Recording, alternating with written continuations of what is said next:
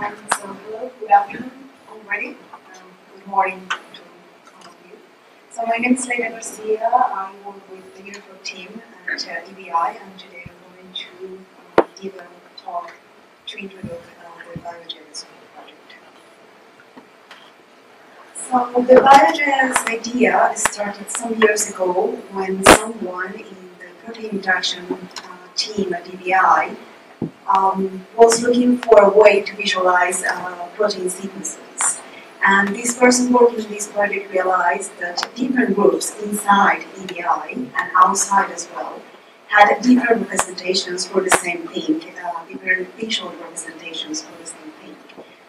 And um, as it was already something available out there, this person tried to reuse something uh, in there in order to integrate it to the web side that uh, he was developing at the time.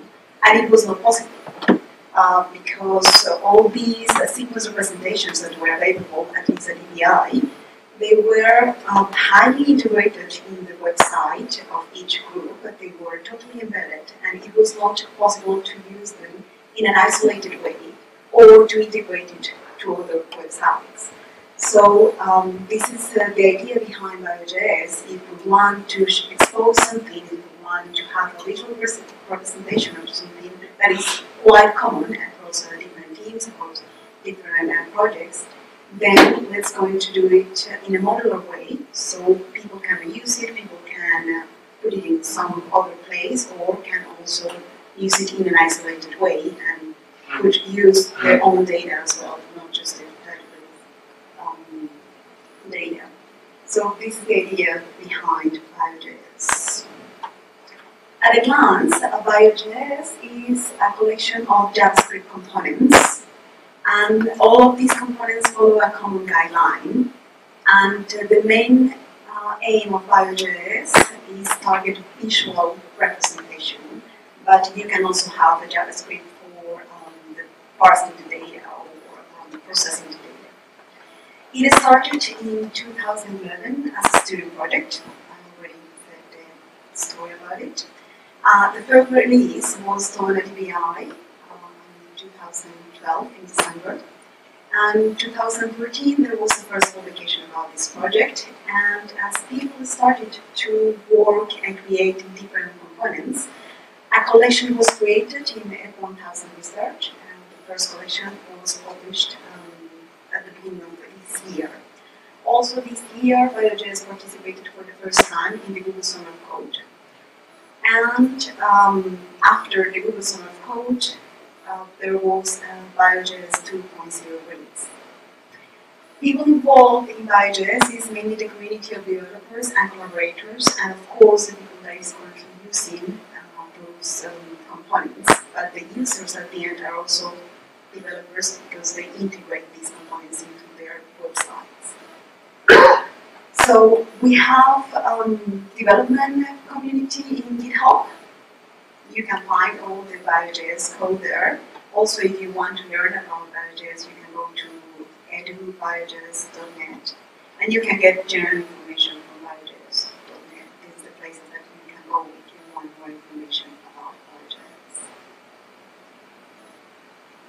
So I mentioned uh, that we moved um, this year in July to BioJS 2.0. So BioJS 1.0 had a fixed core. It was a library, so it imposed certain rules about inheritance and the event model. Uh, the build process was done with uh, a tool called JSTalk that relied on Maven, but it was not working for everybody. It worked pretty well for Linux uh, systems, uh, but not for Windows, and sometimes it was even difficult. We also realized that JavaScript people don't really like Maven too much. And, um, well, um, it was not compatible with some of the modern tools for um, dependency management and build uh, JavaScript components and so on. So this year we moved to BioJS 2.0 we don't have a core anymore, but guidelines, and we kept an even model to make the events uh, compatible across different. We are using now uh, technologies that offer a better support for module and dependency management. and the developers are free to use their preferred technologies. Um, this change was actually um, led by developers because I found that the previous version was like too too fixed. So they really want to be free to use anything that they want to do. So now BioJS is. The development guidelines are the same guidelines that you have for any software development. It's just make it simple. Just do one thing at a time. Don't try to do everything at the same time. Use modules. Separate the data retrieval from the data process, from the data visualization. And document all your code. Provide examples so people will be able to use it. Make it open. We are using GitHub uh, to provide information about all the components and share the component. So if you have a component that uh, fit into the BioJS idea, just uh, share it with the BioJS community in the BioJS registry so everybody can know about it.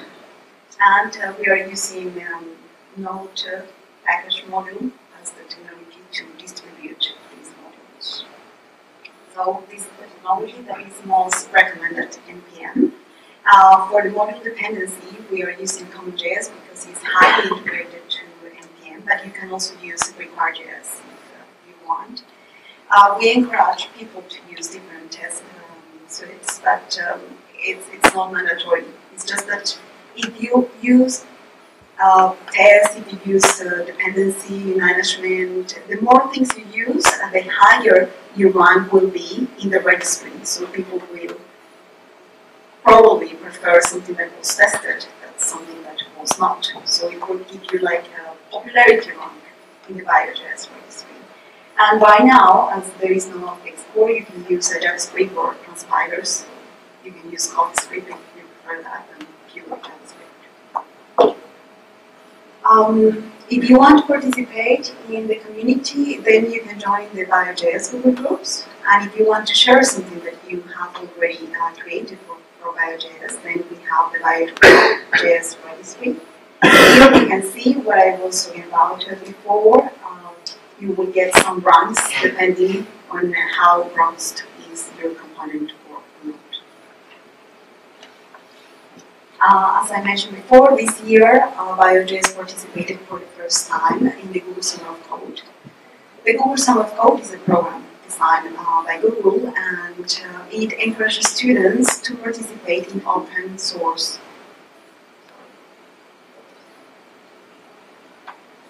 in uh, open source development. And the idea is to get young people to participate in software since they are at school, actually.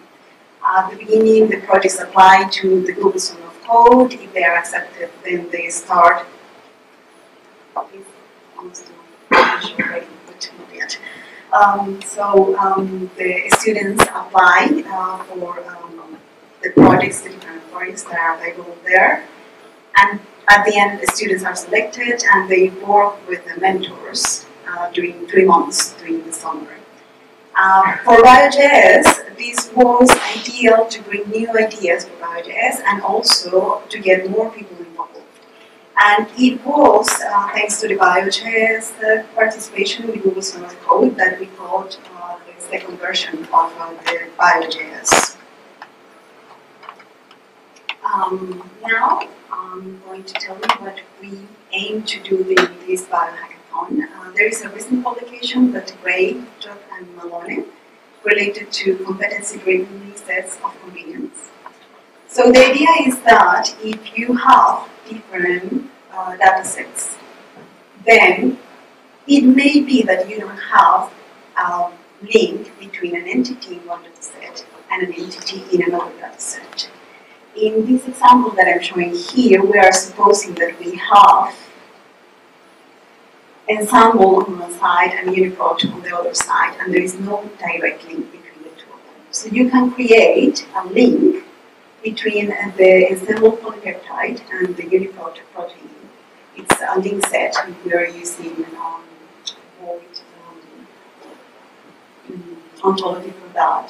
But if you find that it is more convenient to create a link set from the gene, the Ensembl gene, to the UniProt stream, then you can also create. So the idea is, um, from the BioJS point of view, to create a finder across multiple data sets. So what we are going to do during this biohackathon is uh, mature this idea a little bit more with uh, Simon and James, then work in the Finder algorithm, and then work in the visualization route, following the BioJS guidelines. Um, that's it. I just want to thank uh, to the BioJS community, the people involved, uh, and the collaborators, to the API of the report, and of course to the